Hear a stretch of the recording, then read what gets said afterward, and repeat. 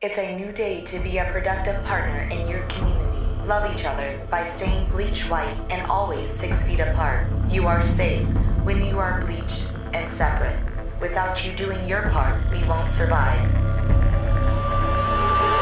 Remember, 500 community credits reward for anyone who reports below standard community partners.